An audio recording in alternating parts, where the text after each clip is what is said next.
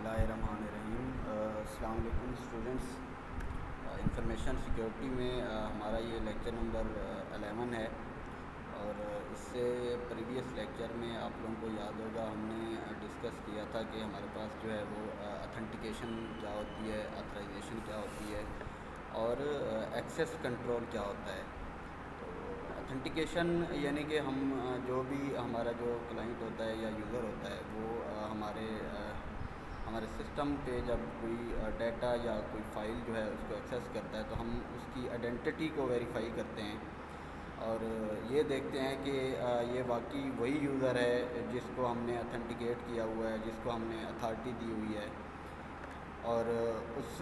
User को जो है वो अपनी अथेंटिसिटी या अपनी यानी कि वो लीगल है, उसने प्रूव करना होता है कि वो लीगल है और वाकई वही यूज़र है। और वो सिस्टम को जो है वो यूज़ कर सकता है। सिस्टम के अंदर जो डाटा है या फाइल्स हैं या जितने भी हमारे रिसोर्स हैं, बाकी रिसोर्स हैं, वो उनको यूज़ कर सकता है। तो दूसरे नंबर पे था ऑथराइजेशन यानी कि जब हमारा सिस्टम जो है वो लॉगिन हो जाता है, वो अपनी आइडेंटिटी जो है वो प्रोवाइड करता है, जिसमें पासवर्ड था यूज़र नेम वगैरह। तो ऑथराइजेशन में अब हम ये देखते हैं कि अब जो ये यूज़र है, वो जो है वो कहाँ तक सिस्टम के रिसोर्स को जो है वो यूज़ कर सकता है कौन कौन सी सर्विसेज़ को यूज़ कर सकता है कौन कौन सी जो है वो कौन कौन से डाटा को यूज़ कर सकता है और हम ये भी देखते हैं कि वो आ, उस डाटा को यूज़ कर सकता है या नहीं कर सकता उसको जो है वो ऑथराइज्ड है या नहीं है। तो उसके बाद एक्सेस कंट्रोल था। तो आज का जो हमारा लेक्चर है, हमने इसमें ये देखना है कि हमारे पास जो है वो नेटवर्क क्या होता है और नेटवर्क सिक्योरिटी क्या होती है।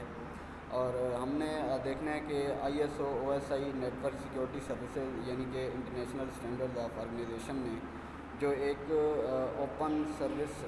open system interconnection जो एक एक प्लेटफॉर्म दिया, जिसके अंदर जो है हमारे पास नेटवर्क की डिफरेंट लेयर्स होती हैं। डिफरेंट सेवन लेयर्स होती हैं। वो किस तरह से जो है वो नेटवर्क के अंदर सिक्योरिटी सर्विसेज़ प्रोवाइड करती हैं। और हम, हमने ये देखना है कि फ़ायरवॉल क्या होती है। हम इसको जो है वो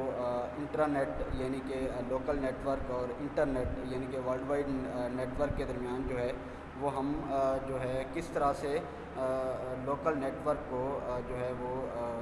वर्ल्ड वाइड नेटवर्क से जो है वो प्रोटेक्ट कर सकते हैं। दूसरा यह है कि नेटवर्क के अंदर जो है हम इंट्रेजन डिटेक्शन सिस्टम्स और इंट्रेजन इंट्रेजन प्रिवेंशन सिस्टम्स को किस तरह से यूज़ करते हैं, और ये दोनों जो हैं इंट्रेजन डिटेक्शन सिस्टम और इंट्रेजन प्रिवेंशन सिस्टम जो है, वो क्या होते हैं? तो सबसे पहले देखते हैं कि हमारे पास जो है वो नेटवर्क क्या होता है। तो नेटवर्क जो है बेसिकली हम जो है इसको कहते हैं कि हमारे पास मल्टीपल एक एक एक इंटरकनेक्टेड कलेक्शन है। मल्टीपल अटानमस कंप्यूटर्स का। अटानमस मीन यानी कि जो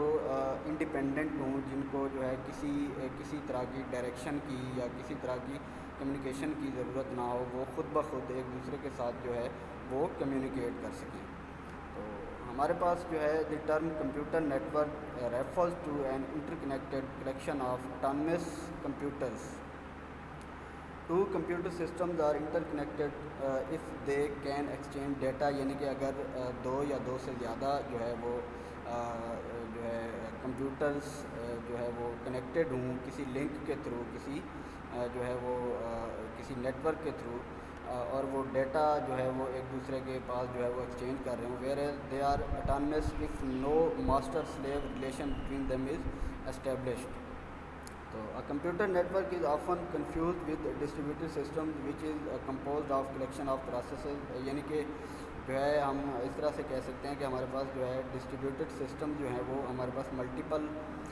एक एक एक मल्टीपल सिस्टम्स का जो है, वो एक एक नेटवर्क होता है जिनके अंदर जो है, वो मल्टीपल प्रोसेसेस जो है, वो रन कर रहे होते हैं और वो एक दूसरे के साथ कम्युनिकेट करते हैं. Through the exchange of messages जब हम इसमें नेटवर्क सिक्योरिटी के हवाले से जो है नेटवर्क और डिस्ट्रीब्यूटेड सिस्टम की बात करेंगे तो हमारे पास जो डिस्ट्रीब्यूटेड सिस्टम है, वो जो है उससे नेटवर्क से जो है, वो थोड़ा ज़्यादा सिक्योर होता है, वो ट्रांसपेरेंसी जो उसकी डिग्री होती है, वो हाई होती है। A fundamental difference between a computer network and a distributed system is in the degree of transparency यानी कि अगर हम मेन डिफरेंस को जो है वो आइडेंटिफाई करें कंप्यूटर नेटवर्क और डिस्ट्रीब्यूटेड सिस्टम के दरमियान तो हम जो है ये देख सकते, हम जो है, हम हम हम ये कह सकते हैं कि जो डिस्ट्रीब्यूटेड सिस्टम्स होते हैं, वो हायर डिग्री ऑफ़ ट्रांसपेरेंसी जो है वो प्रोवाइड करते हैं as compared to network when a user exploits multiple autonomous computer systems that comprise a distributed system to perform a task. A distributed system would exhibit a fair higher degree of transparency than that of computer network. तो जिस तरह से आ, मैंने पहले बात की है कि जो हमारे पास डिस्ट्रीब्यूटेड सिस्टम होते हैं वो जो है हायर डिग्री ऑफ़ ट्रांसपेरेंसी जो है वो प्रोवाइड करते हैं तो इंटरनेशनल स्टैंडर्ड जो है ओपन सिस्टम इंटरकनेक्शन ये एक O S I reference model जो है, ये एक एक एक नेटवर्क आर्किटेक्चर है, जिसके अंदर जो है, हमारे पास जो है, वो सेवन लेयर्स होती हैं। तो अगर हम टॉप टू बॉटम देखें तो हमारे पास जो है, सबसे पहले एप्लीकेशन लेयर होती है, फिर सेशन लेयर होती है इस तरह से जो है हमारे पास प्रेजेंटेशन लेयर है एप्लीकेशन लेयर है डाटा नेटवर्क लेयर है इस तरह से हमारे पास सेवन लेयर बनती हैं। तो अगर हम टॉप टू बॉटम देखें तो हमारे पास सबसे ऊपर जो लेयर होती है जो सबसे पहले लेयर आती है वो एप्लीकेशन लेयर होती है। और अगर हम बॉटम टू जो है टॉप देखें तो हमारे पास जो फ़िज़िकल लेयर है, वो सबसे जो है वो पहले आती है। तो international standard organization has created the open system interconnection जो है reference model that define the layered architecture for computer networks तो इंटरनेशनल uh, स्टैंडर्ड की जो ऑर्गेनाइजेशन है उसने uh, एक एक रेफरेंस uh, मॉडल या कह लें जो है लेयर्ड आर्किटेक्चर कंप्यूटर नेटवर्क्स के लिए एक जनरेट किया जिसके अंदर जो है हम सेवन लेयर्स को जो है जो सेवन लेयर्स हैं, वो मल्टीपल जो है, वो सर्विसेज़ प्रोवाइड करती हैं। This model defined in ISO तो ये वाला जो मॉडल है आईएसओ के स्टैंडर्ड जो है सेवन फोर नाइन एट में जो है जो है डिफाइंड किया गया है। तो इसकी जो सेवन लेयर जिस तरह मैंने पहले भी कहा है कि एप्लीकेशन लेयर है प्रेजेंटेशन लेयर है सेशन लेयर है डाटा लिंक लेयर है तो इस तरह से इसकी सेवन लेयर्स जो है बनती हैं। तो आगे जाके हमने देखना है कि ये वाली जो सेवन लेयर्स हैं, क्योंकि हम नेटवर्क सिक्योरिटी की बात कर रहे हैं तो नेटवर्क सिक्योरिटी की जब हम बात करेंगे, जहाँ पे भी हम नेटवर्क की बात करेंगे तो हम जो है O S I reference model के अंदर ये वाली जो सेवन लेयर्स हैं, इनकी बात जो है वो मतलब टोटल जो आपका नेटवर्क लेयर है नेटवर्क जो है वो, इन सेवन लेयर्स पे जो है वो रिलाई करता है। Defined uh, ISO uh, defines a set of services that the network must support so that its security is well maintained. These are categorized in the following classes. तो ये जो uh, हैं या I S O international standard of organization जो है इसने जो हमें रेफरेंस मॉडल दिया है तो ये मॉडल जो है वो सिक्योरिटी सर्विसेज़ जो है वो प्रोवाइड करता है, जिसके अंदर हमारे पास अथेंटिकेशन सर्विसेज़ हैं एक्सेस कंट्रोल सर्विसेज़ हैं कॉन्फिडेंशियलिटी सर्विसेज़ हैं इंटेग्रिटी सर्विसेज़ हैं and non repudiation services repudiation mean rejection यानी कि किसी भी चीज़ को रिजेक्ट करना, उससे जो है वो इनकार करना। तो ये जो मॉडल है डिफरेंट टाइप्स की सर्विसेज़ प्रोवाइड करता है. Authentication services access control services confidentiality services integrity services and non reputation services authentication services जो है वो फर्दर जो है हम उनको दो सब क्लासेज में जो है वो कैटेगराइज कर सकते हैं. दो क्लासेज में डिवाइड कर सकते हैं. तो पहली जो उसकी क्लास है वो है data origin authentication services aim to allow data transmitters to verify their identity and are usually provided during the data transmission phase. तो ये वाली जो डाटा ओरिजिन ऑथेंटिकेशन सर्विस है, ये जो भी डाटा ट्रांसमीटर्स होते हैं, जो डाटा ट्रांसमिट कर रहे होते हैं या सेंड कर रहे होते हैं नेटवर्क के थ्रू एक एक कह लें सर्वर से क्लाइंट की तरफ़, यानी कि जो सोर्स या सिंक की तरफ़ जब डाटा जो है वो ट्रांसमिट कर रहे होते हैं तो ये वाली जो डाटा ओरिजिन अथेंटिकेशन सर्विस है, वो उनकी आइडेंटिटी को वेरीफाई करती है और ये देखती है कि ये वाले जो जो डाटा ट्रांसमीटर्स हैं या सोर्स है या कोई भी डाटा सेंडर है, वो इस जो है वो अथेंटिकेटेड है, यानी कि उसको उसकी जो है वो आइडेंटिटी को देखता है कि वो ये डाटा सेंड कर सकता है या नहीं कर सकता। उसके बाद है peer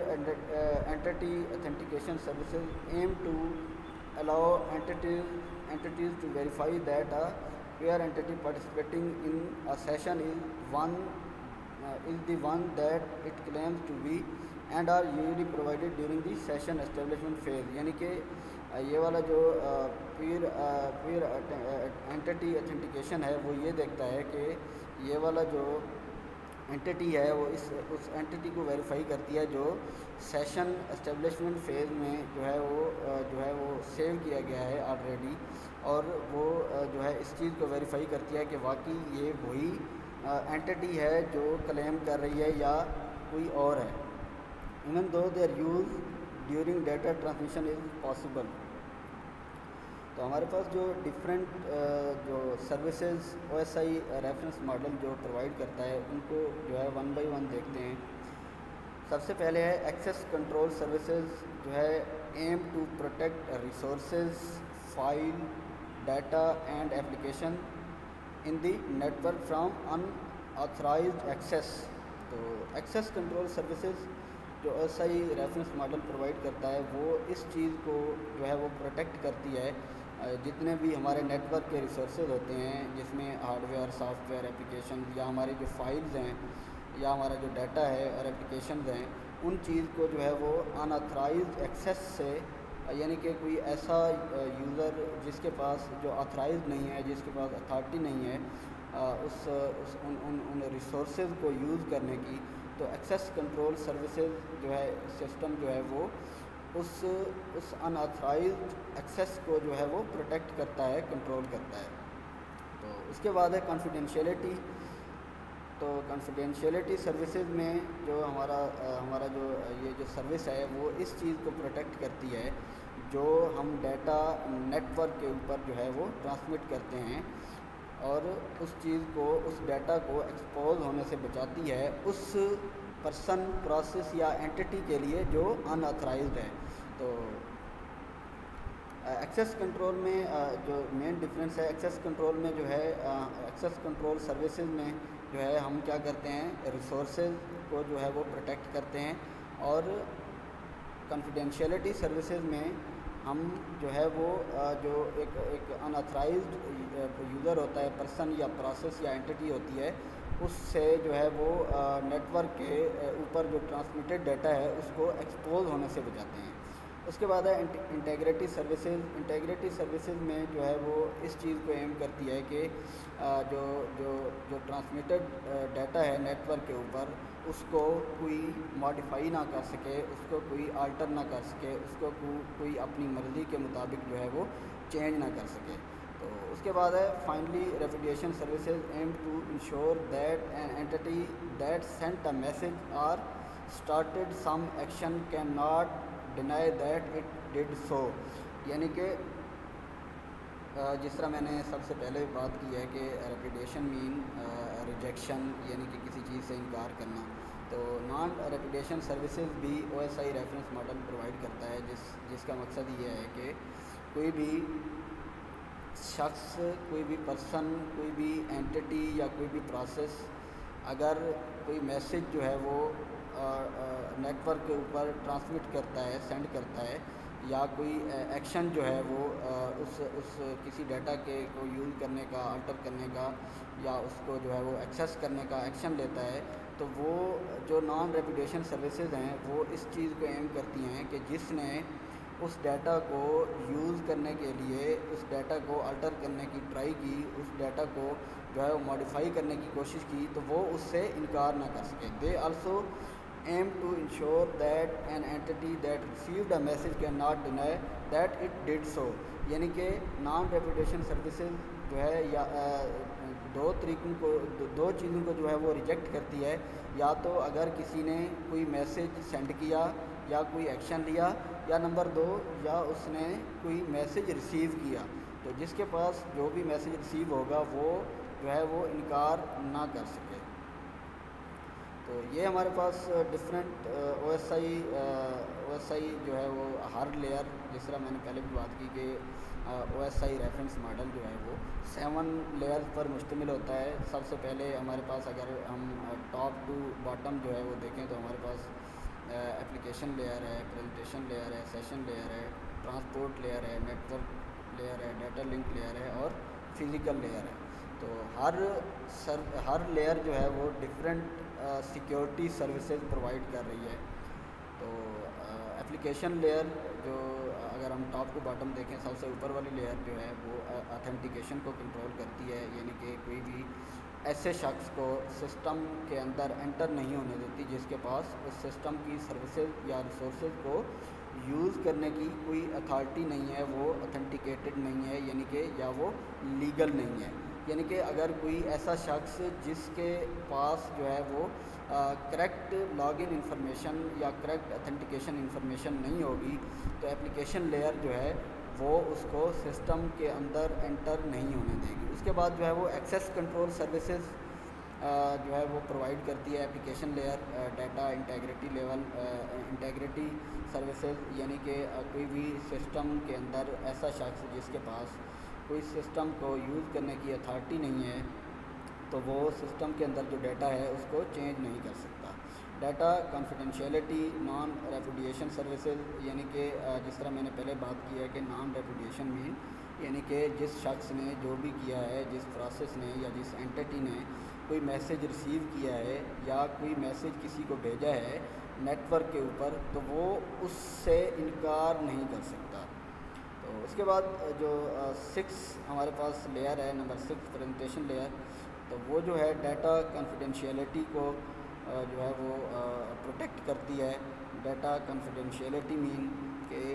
किसी भी ऐसे शख्स से डाटा को एक्सपोज होने से बचाती है जो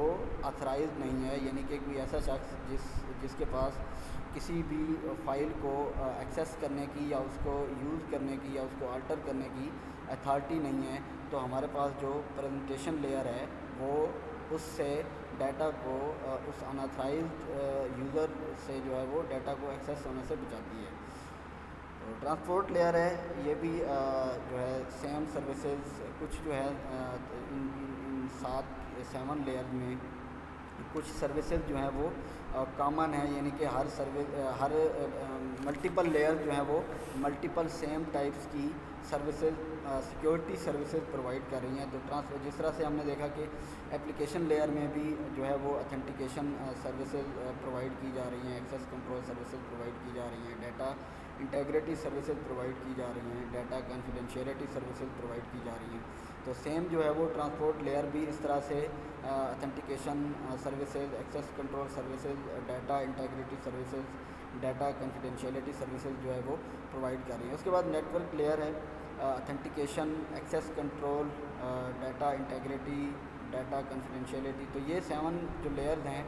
और एस आई रेफरेंस मॉडल की तो ये डिफरेंट टाइप्स की मल्टीपल जो है वो सिक्योरिटी सर्विसेज़ प्रोवाइड कर रही हैं। तो उसके बाद है fire walls fire wall basically हम जो है इसलिए जो है वो क्रिएट करते हैं, एक एक एक एक हम बैरियर लगा देते हैं। कोई आपका एक लोकल नेटवर्क है इंटरनेट जिसको हम कह सकते हैं, और आपका एक दूसरा, दूसरी टाइप का जो है वो एक कह लें वर्ल्ड आउटसाइड जो वर्ल्ड नेटवर्क है, यानी कि जिसको हम इंटरनेट कहते हैं। अगर कोई भी शख्स इंटरनेट से जो है वो इंटरनेट की सर्विसेज़ को यानी कि लोकल नेटवर्क की सर्विसेज़ को यूज़ करेगा तो यूज़ करने के यानी कि अनऑथेंटिकेटेड वे से अनऑथराइज वे से उनको यूज़ करेगा। तो हम उनके लिए आ, उन सर्विसेज़ को किसी आ, जो है वनरेबिलिटी या अटैक से बचाने के लिए हम दो नेटवर्क्स के दरमियान यानी इंटरनेट और इंटरनेट के दरमियान एक बैरियर लगा देते हैं। एक जो है एक कह लें एक एक दीवार जो है वो खड़ी कर देते हैं ताकि जो बाहर बाहर के लोग हैं वो हमारी, हमारे जो, हमारा जो लोकल नेटवर्क है, उसकी सर्विसेज़ को जो है वो अनऑथराइज वे से यूज़ ना कर सकें। अगर उनके पास अथॉरिटी है तो वो यूज़ कर सकें। तो इस तरह के बैरियर को जो दो नेटवर्क्स यानी कि इंटरनेट इंटरनेट यानी कि लोकल नेटवर्क और इंटरनेट यानी कि आउटसाइड जो हमारा जो एक नेटवर्क होता है, उसको उसके दरमियान जो है हम एक बैरियर लगा देते हैं, जिसको हम क्या कहते हैं फायर तो connecting to the internet is no longer an option but necessity यानी कि जो जो इंटरनेट से कनेक्ट होना तो ये जो है एक एक तरह की ज़रूरत है, जो हर शख्स जो है वो इंटरनेट के साथ कनेक्टेड है। तो इसके साथ साथ इसके कुछ जो है बेनिफिट्स के साथ साथ जो हैं वो कुछ इसके जो हैं, इसके ड्रॉबैक्स भी हैं। तो it also allows the outside world to access assets of the local network so making it vulnerable to attacks यानी कि जो आउटसाइड वर्ल्ड के जो लोग हैं, वो हमारे लोकल नेटवर्क की सर्विसेज़ को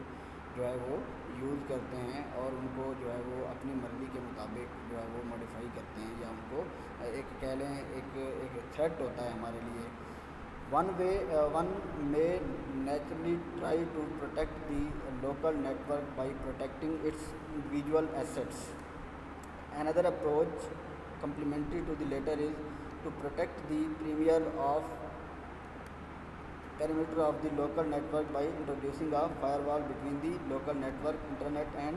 the outside world internet तो जिस तरह मैंने पहले भी बात की है कि हम हमारे पास जो लोकल नेटवर्क है और आउटसाइड जो है वो नेटवर्क है हम उनके दरमियान एक बैरियर लगा देते हैं ताकि हमारी जो, हमारे जो अनऑथराइज हमारे डाटा को अनऑथराइज वे से एक्सेस ना किया जा सके। तो हम इसको, इस बैरियर को जो है वो फायर वाल कहते हैं।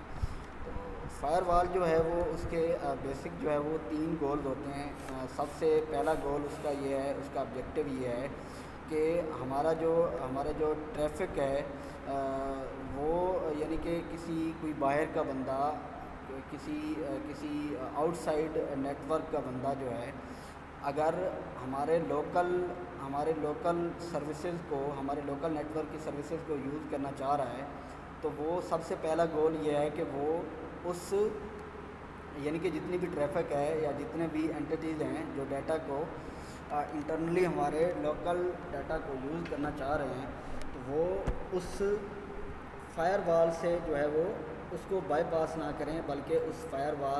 या जो सिक्योरिटी बैरियर है, उसको जो है वो क्रॉस करके हैं। तो थर्ड वन जो है the fire wall itself must be strong against attacks तीसरा जो उसका गोल है फायर का, वो ये है कि वो जो है बिल्कुल एक स्ट्रांग होनी चाहिए, यानी कि कोई भी उसको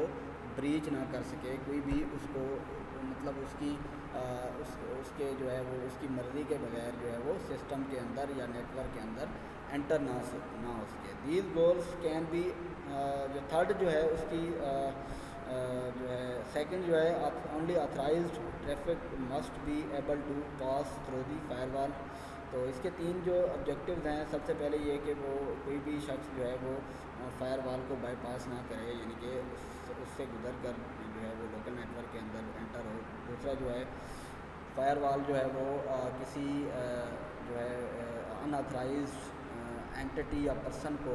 जो है वो एक्सेस अलो ना करे। तीसरा जो है वो फायर वाल जो है वो खुद एक जो है वो स्ट्रांग होनी चाहिए अटैक्स के against